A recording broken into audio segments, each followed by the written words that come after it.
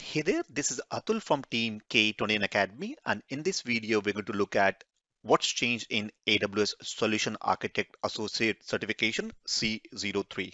We'll look at topics like what is the difference between the older version and the new version of exam, which is C02 versus C03. What new topics have come, what changes have been done. We'll also look at the high level domain wise topics, including the new services or new changes that happened in C03 exam. We'll also look at some of the common questions like that you may have or being asked by hundreds of our students, like what happened if I have already appeared for the exam of previous version C02 or how long my exam is valid for.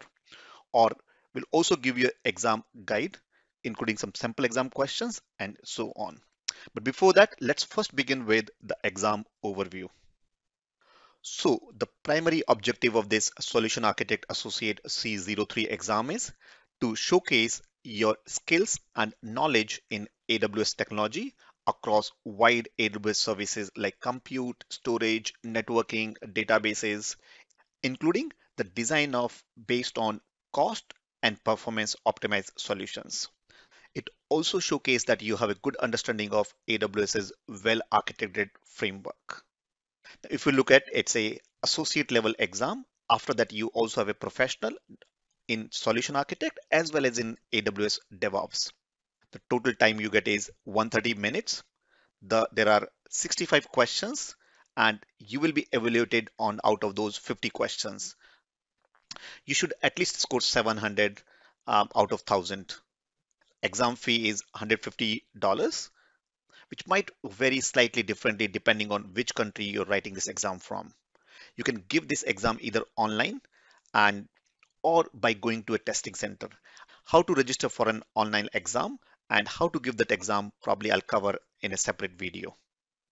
If we look at the exam topics, there are four main domains, which is first is design designing the secure architecture that's probably around 30% and that's this weightage is increased com compared to c02 then you have a designing a resilient or highly available architecture which is 26% then designing a highly performant architecture 24% and the designing a cost optimized architecture which is 20% now if you want to go a little bit more in detail about these topics you can go to this page of AWS Solution Architect Associate Certification exam. In that, there'll be a link for the exam guide.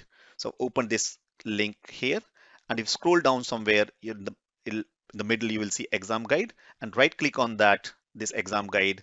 And this is where you will have all these exam topics, domain wise topics. So if you go to page number two, so scroll down, there'll be more detailed topics, what you need to know in terms of, for example, designing secure architecture. Scroll down further, for design resilient architecture to see what all topics AWS expect you to know. Similarly for the domain three, highly performant architecture, as well as scroll down for the cost optimized architecture. Now it will also show you if further scroll down of list of all the services that um, you need to know. Topics like compute, storage, containers, databases, analytics, front-end applications, machine learning, management and governance, and so on. Now let's look at what is difference between C03, which is the latest version, compared to C02, which was an older version. If you look at the dates, the older version, which is C02, expired on 29th of August 2022. The registration for the new exam started back month back before that, which is 26th of July. And now since 30th of August 2022, you can now take SA CO C03 exam. Now I know you might be thinking what the about what if I've already given exam of C02 just a few months before C before this uh, expiry date. I'll cover that as well in a minute. First, let's look at the exam wise, domain wise, what topic have changed. So if you look at in C02, uh, if you see the resilient architecture, which was earlier having 30%, now being reduced to 26% what has gone up is designing changes from designing a secure application and architecture to just design a secure architecture. So application design has secure application have gone out, but design of a secure architecture is, and that weight is increased 30%. Uh, from 24% to 30%. That means that you'll be more focused about building a secure architecture. Similarly, then you have a high performant, highly performant architecture um, the topics are same, but it's slightly reduced in terms of weightage. Now, cost optimized architecture, uh, slightly more, which is 2% increase on the topics. Now, in terms of topics, what's being changed in like from analytics point of view, you've seen new services like Lake Formation, as well as managed stream for Apache Kafka. From application integration services, you have new topic being added AppSync also from a compute, there's a new topic which is VMware Cloud on AWS. From a containers, you see new topics ECS Anywhere, EKS Anywhere, and EKS Distro. From a database point of view, there's new services within database space like uh, Amazon Keyspace for Cassandra, there's Amazon Neptune, then also Quantum Ledger Database QLDB and TimeStream. From a developer, I think there was a briefly earlier there was a developer a couple of questions were there one or two questions were there which is now X-ray. They're there. From a front end and mobile applications point of view there's a AWS Amplify and Amazon Pinpoint. These are the new topics. From machine learning a topic on a high level you should have announced a couple of questions expect in machine learning as well. You don't need to go into deep but a basic understanding of machine learning. Then from serverless there's a AppSync new being added in management and governance now Grafana uh, as well as Prometheus. And if you're doing Docker, Kubernetes, or cloud native, then Grafana and Prometheus becomes important. So these two topics. Similarly, AWS Proton as well on management and governance side. Now, I'll give you a link of the blog, k21academy.com forward slash AWS SA11, which is AWS SA11, where we'll be listing down uh, these topics. These are the high level topics or just specific if you want to do changes, these are the changes being or new topics or new services introduced in the exam. With that, now let's look at the common questions you may be having. So these are set of questions asked uh, by uh, our students who have already done a C02 exam or are were preparing for C02 exam when this new uh, exam was announced. So first is, will I've already done my C02, will my existing certification expire? Or is what exactly is retiring basically, or is my existing certification entirely retiring? Or will the topics be different in the new exam?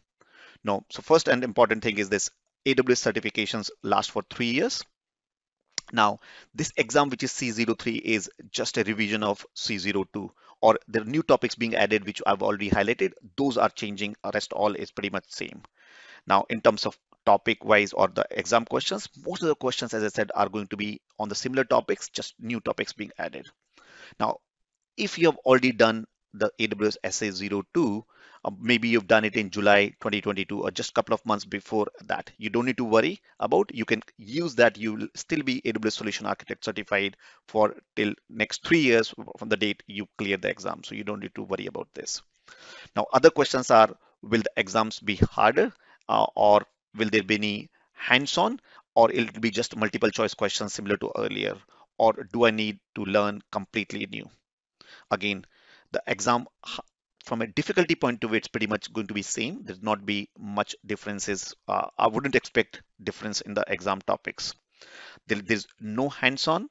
Uh, it will be multiple choice questions with you will have an option to either select one option or maybe asked to select uh, uh, two or more uh, answers for a particular uh, question. There's no negative marking. Now, you don't need to uh, do a, completely new program, nothing. It just whatever you've learned, if you've already prepared for C02, just add these deltas or the different topics. That's all you need to do. We asked our existing members and list uh, members uh, to see what questions comes to your mind. So let me look at all the questions that have been asked. These are 20 plus questions are picked up from, from the huge list of questions. So let me answer, pick them one by one. And if you still have any outstanding questions, then leave them under comment section and I'll answer those questions. So the first question was about what's the new topic or what service is being added into this new exam. This has been asked multiple times. So what I've done is I've highlighted just the deltas or the topics. If you're already preparing for C02 and if you want to see the only the deltas, you can get a list of this entire topic list. I'll refer that under k forward slash AWS essay 11. Now the next question is how long this AWS certificate is valid for? I've already covered for three years.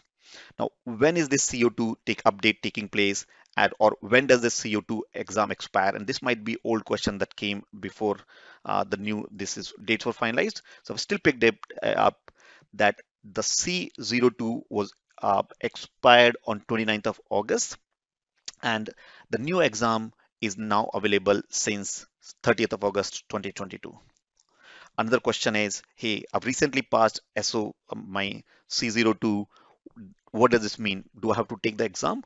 Officially, you're not uh, re uh, required to. You can continue to use your C02 with that. You'll still be AWS certified, um, valid for three years. If you want, it's always good to refresh and update and appear for the next exam or C03 exam if you want to. Now, I've already covered this question. Is it going to be harder? I don't anticipate anything. Uh, it will be pretty much same as C02 if you've appeared for C02. Are there any hands-on labs? No, it's multiple choice questions. Another question, yeah, this is related to, came from our training program members that the course on K21 Academy related to AWS Solution Architect uh, is, will that be updated? So we're already working on that update and the new batch starting in September 2022 uh, that will be using the revised content and will be adding these services that's being introduced in C03. Now, how can I get a hands-on experience? This was a generic question, how I can get a hands-on experience for AWS. So the best way is to, AWS gives you a free trial account uh, you can create for one year. Now be mindful of this uh, free account that even though AWS says it's free, it's free for first of all for one year and that too you have a limit on how much you can use. So for example, you can use up to a particular uh, hours free uh, and then particular uh, disk space free and so on. So be careful in terms of you're using, but it's pretty cheap as well. So uh, I would suggest do the hands-on lab. For list of all the hands-on lab we recommend you to do in order to become an expert in this topic, I would suggest check it out by going to k21academy.com forward slash AWS SA05. SA stands for Solution Architect. Now, what are the exam domain topics? Uh, I've already covered that. I'll be putting the link on our blog at k21academy.com forward slash AWS 11 for all these references as well. And I'll put it into the comment section as well or the description as well here. Next is which new AWS services are covered. I've already covered as well. And now I think I'm repeating these questions because these questions came and I, this whole video was done based on those questions. But if you still have any questions, as I said, um, uh, feel free to ask. If you have to go you can go to the page 11 for new services. If you look at appendix section of PEP 11, page 11 of this guide. Uh, this is important. This is good question. Can a non-technical person take AWS Certified Solution Architect C03? Answer is yes, absolutely. If you're a non-technical person or even if you're a technical person, I highly recommend you to complete the hands-on labs. Uh, and that's when you will learn these concepts. Also, uh, there is a sample exam questions available on AWS site, which uh, let me show you on the link that I'm going to give you. Uh, you scroll down here on this page and here sample questions. And there's also official practice questions. So have a look at. Also, we have done, I think, 25 sample questions we give uh, for you by going to k21academy.com forward slash AWS SA07. Also go and if you can, I would suggest do a couple of um, sample set of questions before you actually appear for the exam. Uh, if you're part of our training program, we have three set of questions of, I think we have around 200 plus questions, exam questions. So make sure you go through them. Now, next is what will be my responsibilities as a AWS solution architect? And this question has been asked a number of times. So what I've done is mainly you'll be doing implementation, you'll be designing and implementing the AWS solutions, common solutions or common services on AWS. As an architect, you'll be designing, but if you're also playing a role of uh, the cloud engineer or cloud operations guy, then you will also be implementing those solutions. So you'll be doing like things like storage, networking, compute, databases, highly available applications, uh, disaster recovery across multiple regions, all those things you'll be doing. For a list of all the uh, uh, roles and responsibilities, I'll link this blog, which will highly recommend you to refer another video, which we have done it in past. Another question that up comes is, um, as a part of K21 Academy, does it guarantee the success of C03? Do you guarantee that?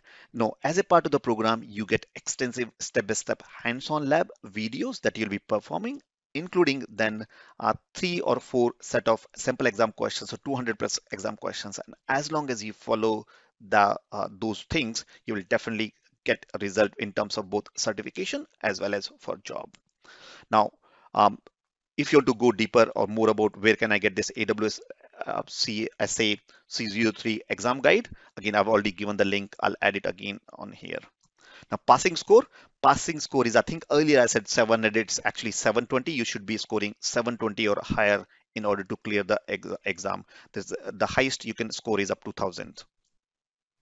Exam format, I've already covered multiple choice questions and there are no negative marking for that. There's some questions will say that answer one and some question might say, oh, answer two or three correct. Uh, so be careful on those as well. And then final was, is there any change on syllabus? I've already mentioned that as well. Now, if you're ready to prepare for this exam or would like to get a higher paid job in AWS as a AWS cloud engineer, AWS solution architect, then I'm doing a free roughly 90 minute class where I'll be bringing an AWS expert. We'll be talking about the roadmap, a eight week roadmap, including 40 plus hands-on labs. And we'll be also doing some demos and some topics about the common services that you should be knowing. So if you're interested in this uh, free 90 minute class, then register by going to k21academy.com forward slash AWS SA02.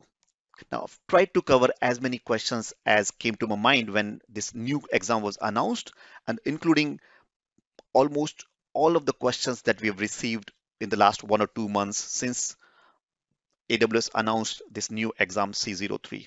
But still, if you have, if you have any questions that I might, might have missed or comes to my mind or need any further explanation on any of the topics or what additional topics you want us to cover on our YouTube channel, then leave them as a comment and then I'll answer your questions. With that, this is Atul from Team K21 Academy and I'll see you next week on another video on AWS.